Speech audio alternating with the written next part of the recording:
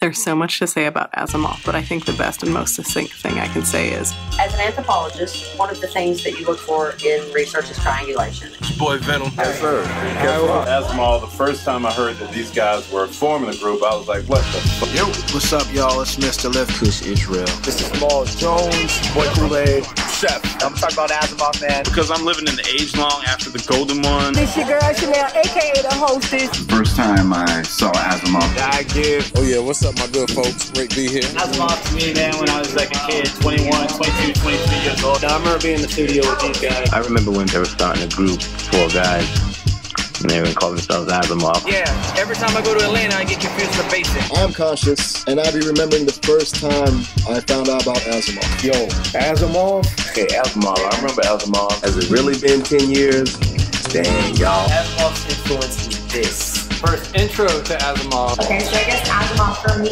Asamov, oh my goodness. there's so much to say about Asamov, but I think the best and most succinct thing I can say is As Asamov's concerned, I mean, My first memories of Asamov. Favorite memory about Asamov? My favorite Asamov memory. So it's the mid 2000s. You know, Asamov, My fondest memory of Asamov. I would have to say, was one of the hardest working groups. So I remember going to a CD connection.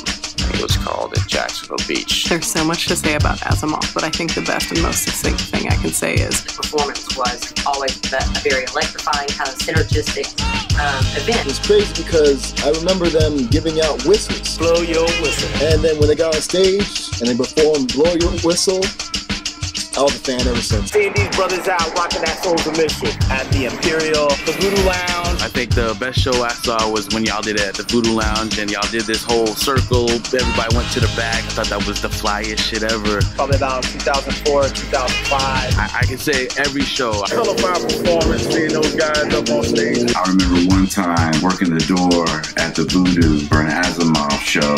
The guys, they show up with swim caps, Ridiculousness. goggles, and towels around their neck. And as they're walking through the door, Therapy just looks at me and goes, As a Asamov swim team, yo.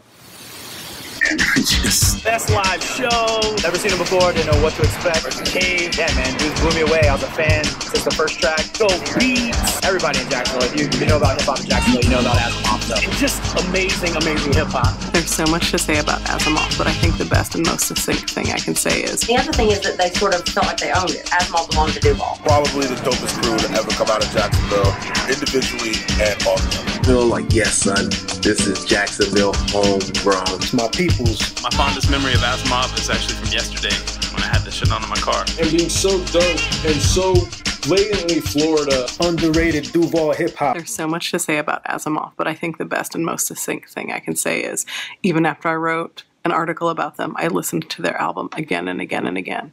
They were so smart and funny and good. And we were lucky to have them when we did. So let's start this thing off.